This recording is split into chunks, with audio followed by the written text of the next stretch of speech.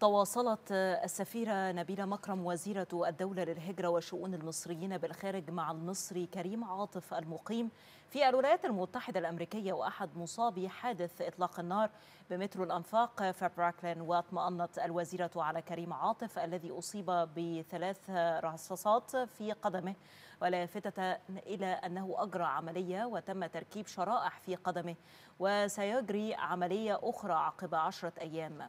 متمنية له الشفاء العاجل. كما تواصلت وزيرة الهجرة مع أسرة كريم عاطف لتطمئن على حالته وأنه يتلقى كافة أوجه الرعاية والمتابعة ومشيرة إلى أنه أو أنها تتابع حالته الصحية مع السفارة المصرية أولا بأول حتى يتمثل للشفاء التام.